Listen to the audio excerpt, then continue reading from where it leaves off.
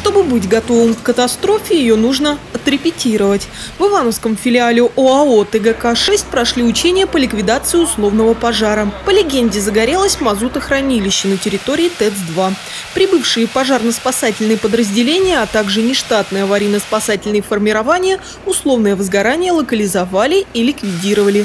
По итогам учений их участники получили положительную оценку своим действиям. Привлечены пожарные расчеты э, Ивановского гарнизона пожарной охраны, аварийно-спасательный отряд города Иваново, поисково-спасательный отряд Ивановской области. То есть, э, привлечены также э, нештатные формирования ОАО «Волжская ТГК».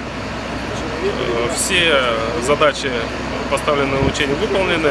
Оценка действиям сил и средств хорошо.